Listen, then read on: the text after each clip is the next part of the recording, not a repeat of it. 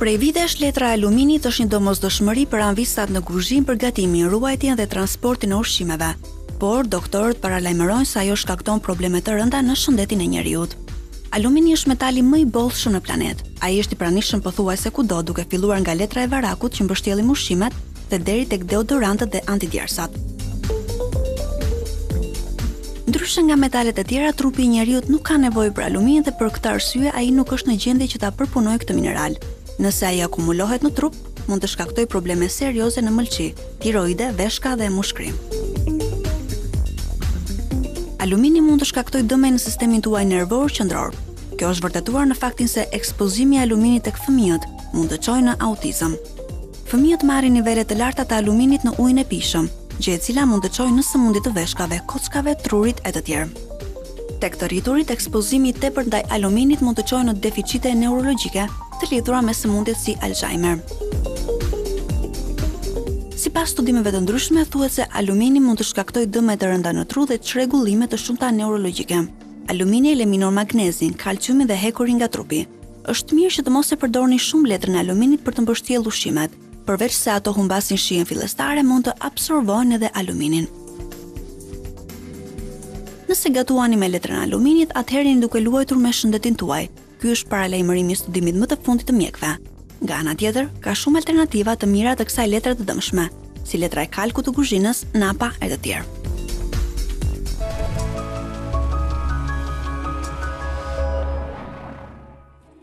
Po ndjekim gjatë ditës së sotme të gjitha këshilla se si mund të jemi më praktikë në kuzhinë. Është momenti që me Zuhun, kuzhinierin e ditës së sotme të realizojmë recetën e radhës. E përmendët po. pak me Florin mm. në pjesën e parë të emisionit që do të bëni peshkun. Peshkun, po. Mm. Do të bëjmë një një fileto koci po. me Me qese vakumi, mhm. do t'i përgatisim në vakum, por në fillim do të shfiletojmë peshkun dhe do të dhe do ta marinojmë. Shumë mirë. Bukur.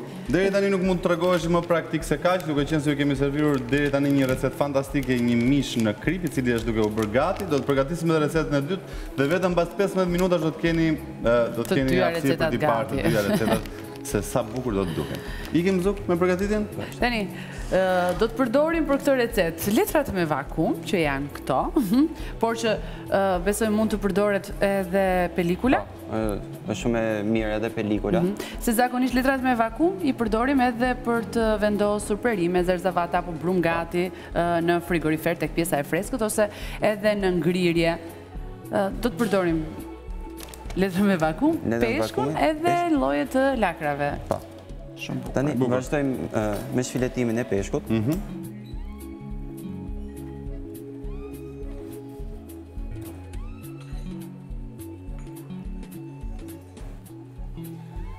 Si jam me filetimin, jam më mirë tek misi apo tek peshku?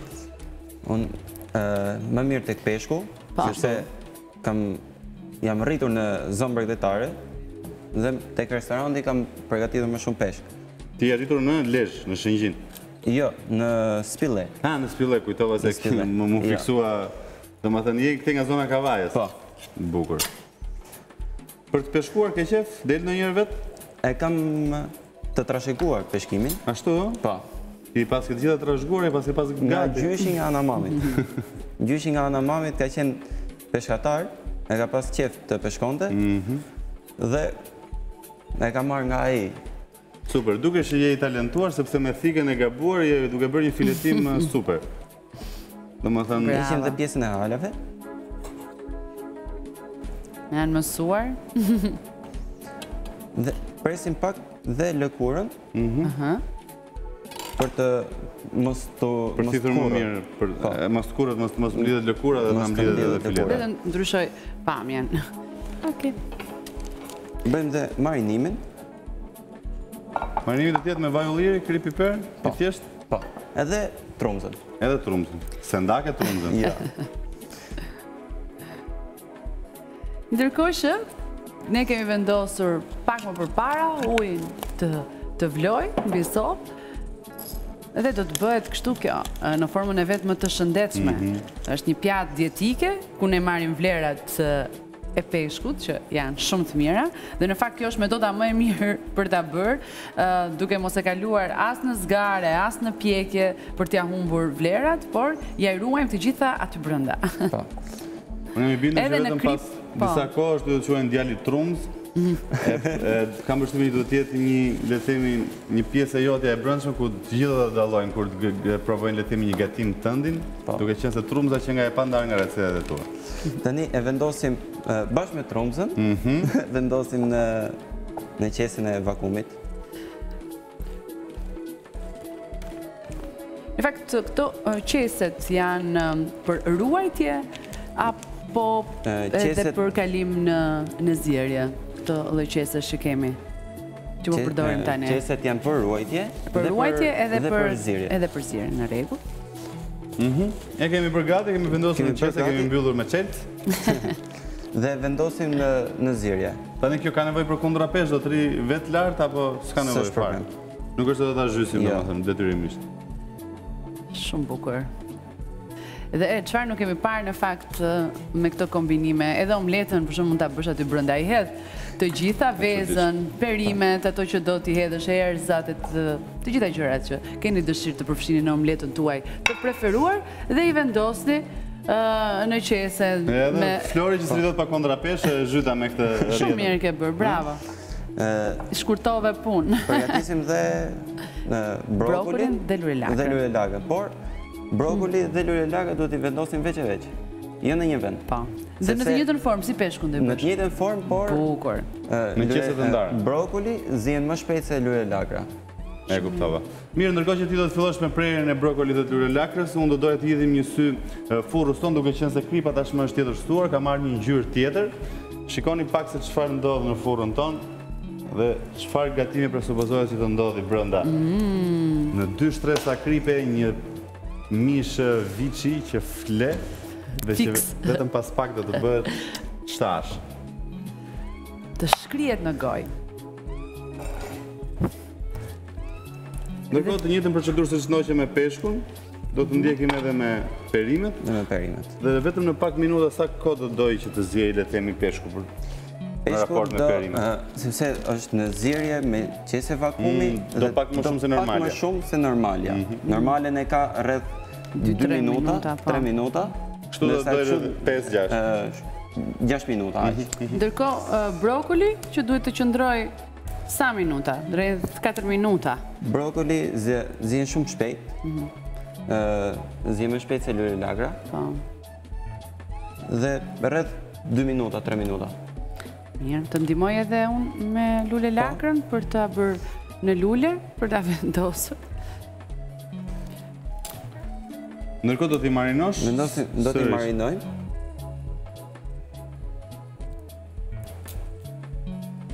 Është interesante gjithë kjo procedurë gatimi. Unë është hera e parë që e shoh si si kundër pashë edhe gatimin e parë që ishte gatimi me krip në shtresat e kripës, edhe kjo për thënë vërtetën hera e parë që e rastis, nuk di se si do të jetë në shije dhe ku do të dallojë nga njëra tjetra nga ajo klasike apo jo.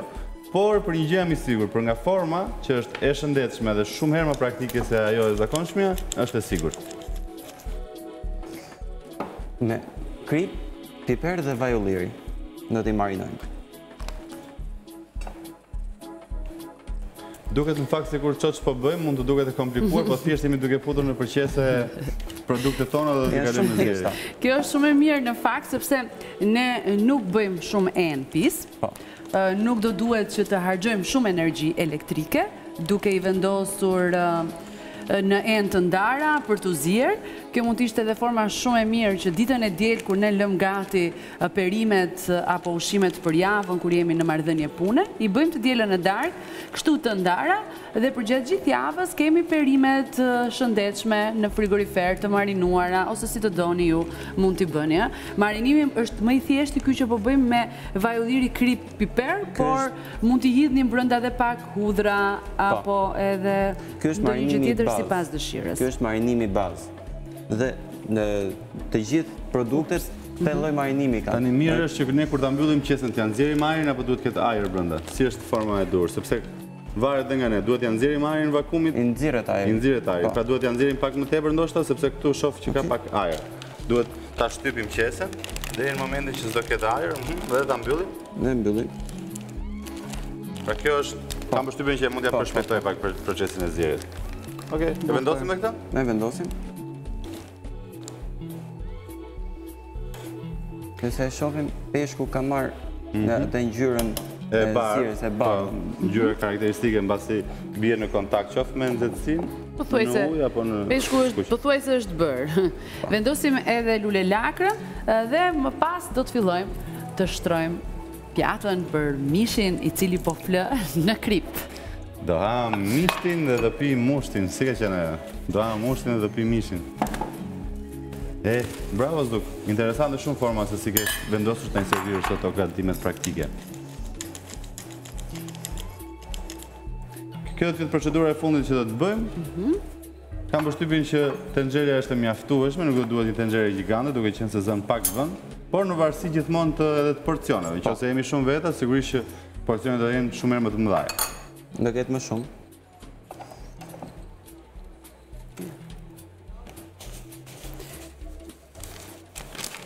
Vendosën dhe lulelakër. Edhe pastër, e? Punon edhe pastër. Shumë, shumë e pastër. Madje, në qoftë se do kishte mundësi, unë do kërkoja ndihmë të gjitha tyre tregtarëve që shesin tek tregu, mund të na i bëni pak gati kështu ju lutem, jua sjellim qeset e vakumit, i prisni marinoni dhe ne thjesht i vendosim në tenxhere për të zierë dhe e kemi drekën gati pothuajse në 5 minuta maksimumi.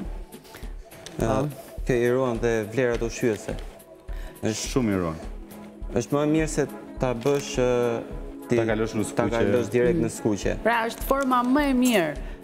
Ne zakonisht sugjerojmë, jo zakonisht por gjithmonë sugjerojmë në emision që forma më e mirë për t'i marrë vlerat është të freskët në avull, në zierje, pjekje më pas skuqje. Dhe këtu jemi tek forma më e mirë e mundshme. Iku dhe lulelakra. Iku dhe lulelakra. Dhe pastaj sipas radhës do të nxjerrim peshkun, brokolin dhe në fund lulelakrën, duke qenë se i kemi vendosur sipas zierjes. Ndërkohë që ziejnë, ne përgatisim pjatën e mishit që do të dalë më pas nga furra. Duhet ta lëmë edhe pak? Kam përshtypjen do dojë edhe 2 minuta, 3 minuta, derisa ne bëhemi gati me... Shumë mirë. Kemi puren e patateve që realizuam, kremin e patates, që realizuam pak më parë, patate të kaluara në skuqje, në vaj ulliri, me hudhër të freskët, dhe më pas, herë pas here, i kemi bluar, i kemi po, prerë në formë po. kubike që të bëhet më shpejt. I kemi hedhur dhe trumzë. Të duket interesante? Ndërkohë që brokolin e kemi zier thjesht fare. Ama, kur të servirim mishin, aty do tregojmë sekretin e recetës së ditës së sotme.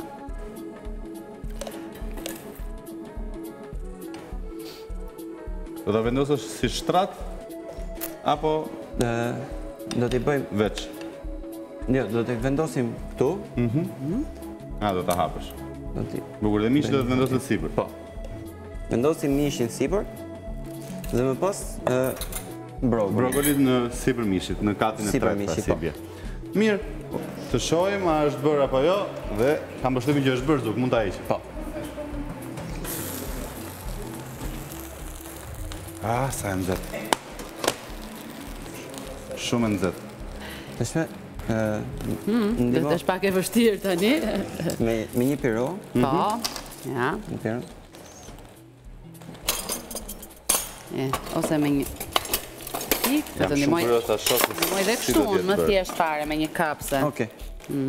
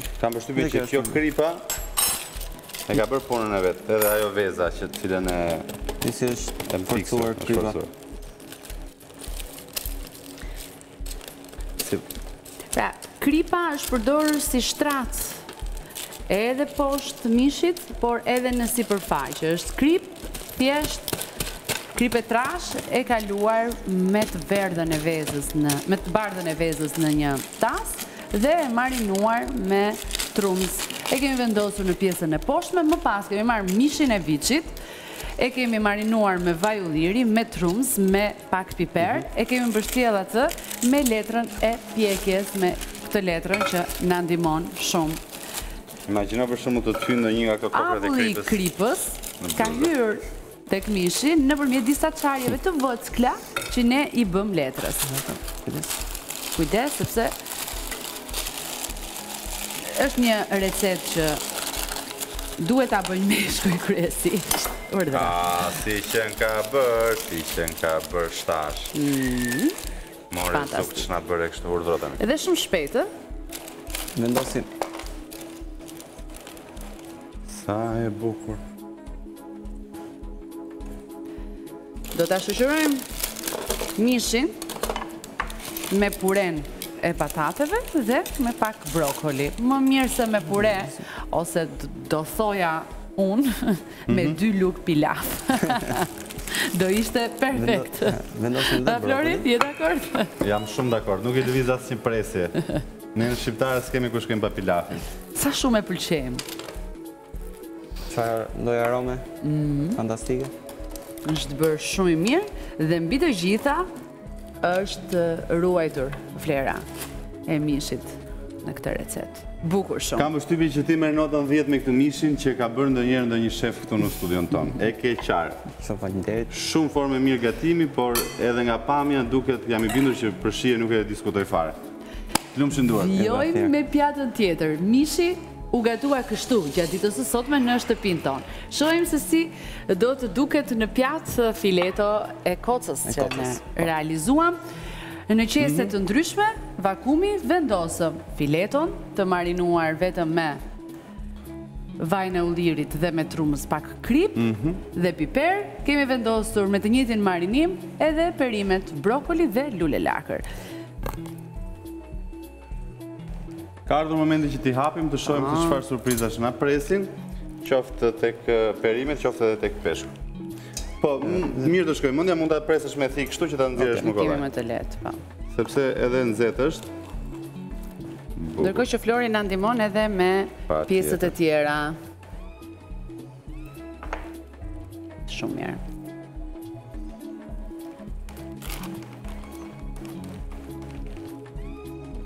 Bukur. Ja dhe lulelakra. Mhm, po të doni i hedhim edhe në tasa. Sa mirë është bërë? Edhe lulelakra, edhe brokoli. Edhe brokoli. Super.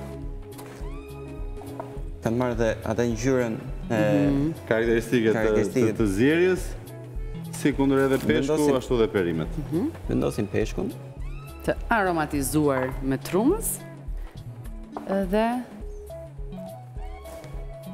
perimet në këtë rast Është përzgjedhur lulelakra dhe brokoli. Dhe brokoli. Sekreti të gatuhen veç e veç. Mund t'i marinojmë sipër me kripë, me piper, me vaj ulliri dhe me pak. Po. lëng limoni, nëse doni. Më ka, më ka habitur Zuku sot. Kaq i ri dhe kaq i talentuar, bravo të qoftë. Edhe të mendosh uh, që janë pjata krejt të thjeshta. Të thjeshta, praktike, dhe me një taktikë të, të veçantë. Të shëndetshme dhe shumë të shijshme. Të shohësh këtë mishin për shembull këtu edhe fileton e peshkut, sigurisht që është super e shijshme që në momentin që ti e sheh, ta ha syri në fillim. Kjo është një pjatë tipike e stinës së verës, e lehtë. Dhe është e lehtë. Ngjyrat. Mhm. Që thyejnë njëra tjetrën. Po. Super. Zuk, ne të falënderojmë shumë që ke qenë me ne sot për dy pjesë të emisionit, na ke servirur dy receta fantastike nga ato më të mirat, nuk ka nevojë për shumë lajka, duke qenë se të gjithë e kanë parë se çfarë rezultati kemi në pjatat tona. Je i mirëpritur kurdo që të duash të vish. Shumë faleminderit.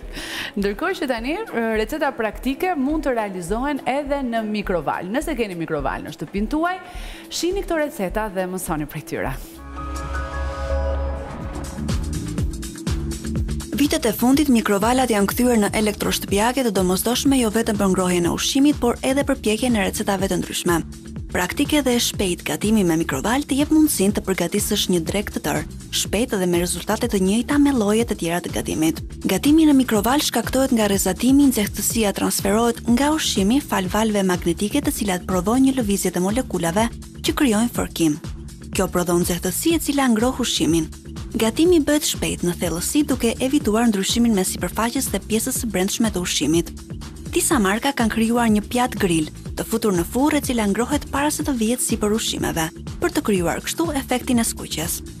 Më të famshmet janë vaktet që përgatiten në çafkat që përdorim në kuzhinë për të konsumuar çaj apo lëngje të ndryshme. Blogerët në mbarë botën e kanë kthyer këtë në një lloj trendi që vështirë se mund të dalë nga moda, pasi është i shpejtë dhe i shijshëm. Receta e parë që na vjen ndërmend sapo përmendim mikrovalën janë padyshim patatinat, një mënyrë për të shmangur konservantët e paketimeve të gatshme. Mjafton që patatet t'i prisni në formë rrethore të imët, t'i shplani disa herë në ujë, më pas me anë të një pecete, t'i mbështillni për të hequr lagështirën. Vendosini në mikrovalë dhe kontrollojini herë pas here. Pasi t'i provoni, do hiqni dorë nga furra e sobës. Mëngjeset, vaktet që shpesh herë i anashkalojmë për efekt kohe mund të përgatiten sa hap e mbyll sytë në mikrovalë, që nga omëletat e deri te muffins. Mjaftoni që në një gotë çaji të hidhni produktet tuaja të preferuara. Në rastin e omletës hidhni vezën e rrahur, proshut, djathë, pak vaj ulliri, kripë dhe piper. Vendoseni në mikrovalë dhe mëngjesi është gati. Por në mikrovalë mund të përgatisni edhe vezë poshe. Hidhni vezën në një tas të vogël ose gotë rezistente. Shtojeni uthull të përzier me ujë. Mbulojeni tasin me anën e një pjate dhe vendoseni në mikrovalë për ta lënë jo më shumë se 60 sekonda. Ja cili është rezultati. U fokusuam te të kripurat, por mikrovala ju vjen në ndihmë edhe për të ëmblat. Si thoni për mini torta, kek dhe ëmbëlsira të tjera në një tas të vogël. Nuk keni më nevojë të angazhoni gjithë familjen në punë, pasi recetat e ëmbëlsirave në mikrovalë përgatiten fare lehtë. Por mikrovalën duhet të tregoheni të kujdesshëm edhe me disa produkte si ato me bazë mielli, tortat apo buka. Lëngjet mund të përthithen shumë shpejt, ndaj në tilla raste duhet të përgatisni një brumë me më shumë ujë. Me ushqimet me bazë vezë është mirë të përdoret një fuqi më e ulët që ushqimi të mos ndahet. Në furrën e mikrovalës rregullohet fuqia për gatim.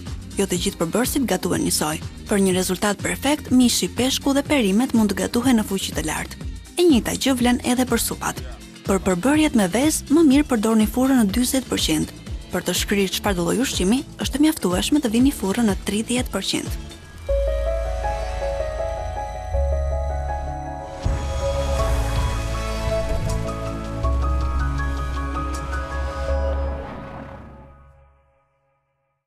Përshëndetje, unë jam Anjeza Maja nga emisioni Në shtëpinë tonë. Ndërsa unë jam Floriana Galiu. Për t'u regjistruar në kanalin e Top Channel në YouTube, klikoni këtu. Ndërsa për të ndjekur videot më të reja të emisionit tonë, klikoni këtu.